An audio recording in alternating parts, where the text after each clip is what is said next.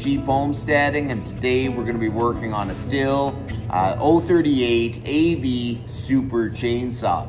Um, my buddy in the summer brought a bunch of his small engine stuff for me to get up and running and part of the deal was um, that he would throw in an ultrasonic cleaner. Um, he had one and he always meant to clean the carburetors but he, he kind of just threw it in the deal. I got most of the stuff up and running, but you know, I'm running out of time and this one's kind of been giving me a little bit of a hard time. So I thought, you know what?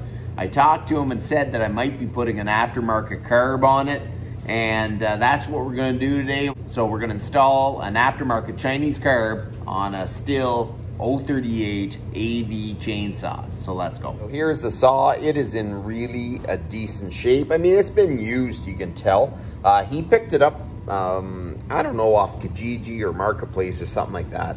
And I don't think he's got it running yet. Um, he got it and it just didn't run. So hopefully today we just get her up and running. It runs like a champ. So let's start doing the uh, carburetor. Someone got handy and made their own wig nut for the air cleaner. You take that off. We'll remove the air filter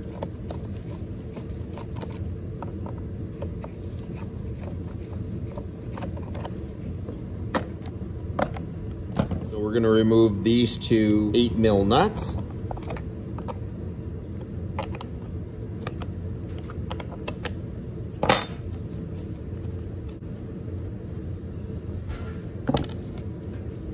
We're gonna flip the saw over and we're gonna take the screw out of here that holds the handle on.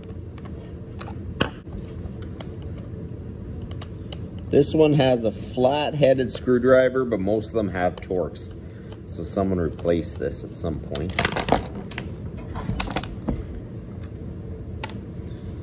And everything goes flying, so keep the handle. So you wanna get this linkage and you wanna tip it out like this and it'll pop out of place and then out of the carburetor. So one thing you wanna do is open your fuel tank let the uh, pressure out, close it again, and then pull your uh, carb up, then pull the fuel line off. If there's pressure in here and you pull that off, it'll just shoot fuel out at you.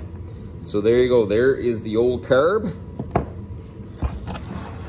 So this is the old carb, this is the new carb, and you can see the new carb for some reason comes with this bottom plate with a tube um, it must be a more modern saw or something. Uh, everything about this is exactly the same, except that. And what I think I'm gonna do is just switch the plate over uh, because I don't like the fact it's got a huge, huge hole there. Uh, I could just picture that getting caught up in sawdust and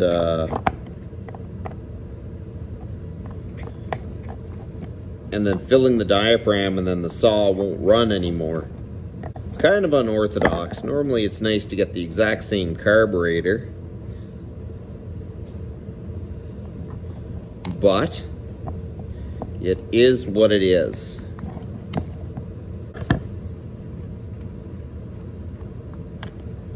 Okay, so we're gonna put that on here.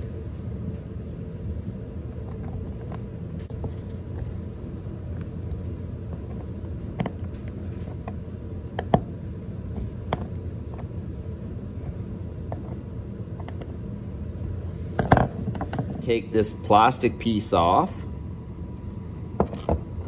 and we're gonna install it on this one. That kind of helps seal the box a bit. So we wanna make sure that's back on. So that's where the carburetor seals. So you make sure that's all clean and all intact. Get the carburetor, we're gonna put the uh, fuel line on just before we push it onto the uh, carburetor studs.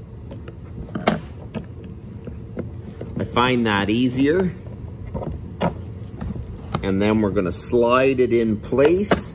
Make sure you don't jam the shutoff wire. So there you go, that's back in place. Now we'll put our two eight mil nuts on. We're gonna tighten them evenly.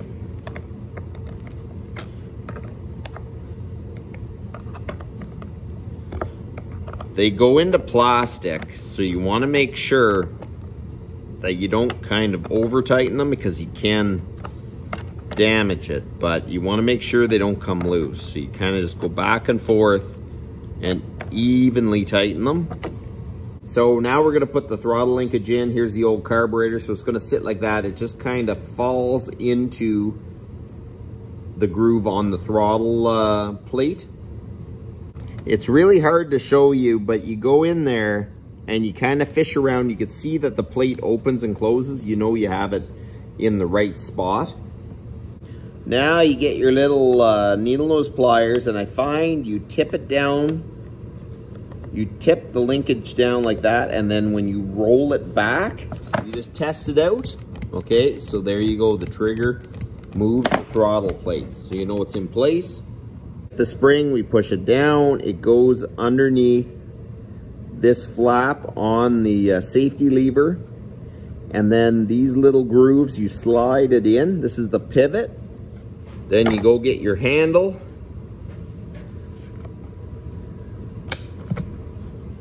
Put it down.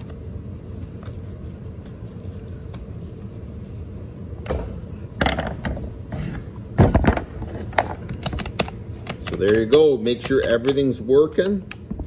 Nothing's caught. Okay, so now we put the air filter back on.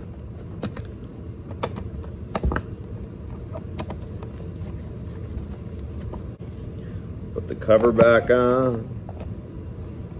Before you change the carburetor out, make sure that you dump the fuel, change your fuel filter. Um, I've already done that, so all I'm gonna do is fuel it up and we're gonna see if we can get it running. But make sure you do that because it's super important. Uh, you know, brand new carburetor, next thing you know, you gum it all up again.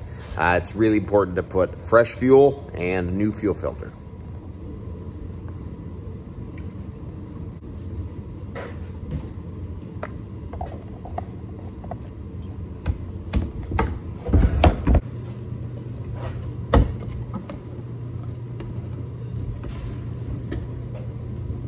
Now we got the carburetor on, but it is really important that you adjust it correctly because two-stroke motors, if they too lean, which means not enough fuel, uh, it's actually going to run too hot and damage the cylinder. Um, running too rich, it's sluggish. Uh, so it's really important that you actually adjust the carburetor because if you get your chainsaw up and running and don't adjust it properly, you'll end up blowing it up. So uh, I'm going to uh, start it up and see if we can get it adjusted.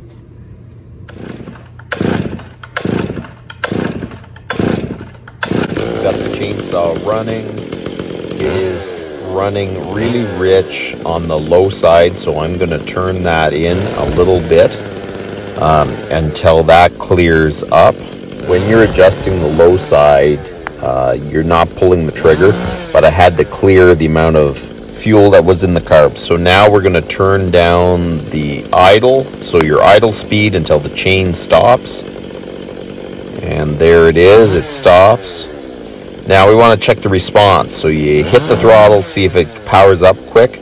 So now we're going to put it full throttle, we're going to adjust the high, and I'm making it more rich, turning to the left.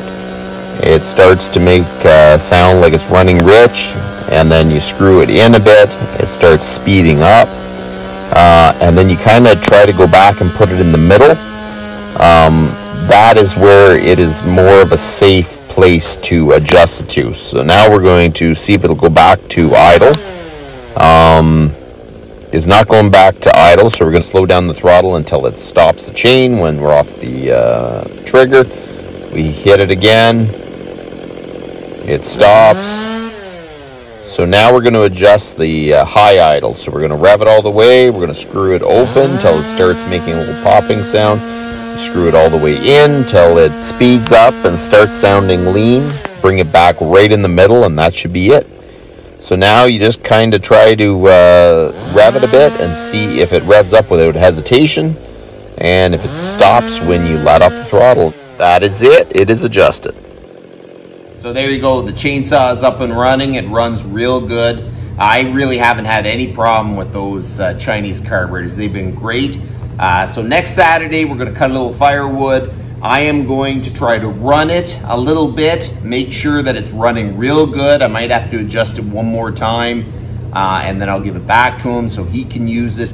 Um, whenever the temperature changes, if you go from summer to winter, you need to adjust your carburetor or any drastic temperature changes because it changes uh, how lean the saw will run or how rich depending on uh, the temperature. So it's really important to be able to know how to adjust your chainsaws and uh, really take your time, especially when you put a new carburetor on here.